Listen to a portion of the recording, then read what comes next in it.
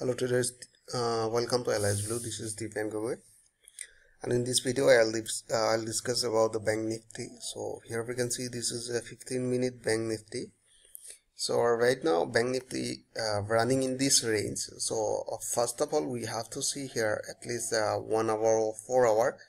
You can see right now trend is still uh, uptrend, but if you see in a 15 minute, they already placed in a downtrend, right?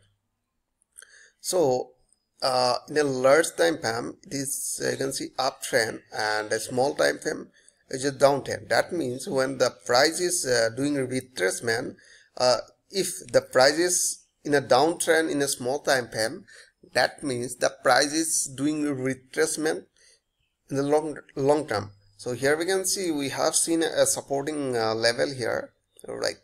So this is a supporting level uh, in one hour chart. So I hope that uh, they will give a retrace uh, so correction from this level right? So that is why this is uh, in this uh, supporting zone we never gonna sell it right? So that is why we can take a buy here if if we get any uh, buy confirmation right? So right now where, where is the buy confirmation? So that is why we have to see in a small time frame. So here you can see the uh, small time frame in 15 minutes.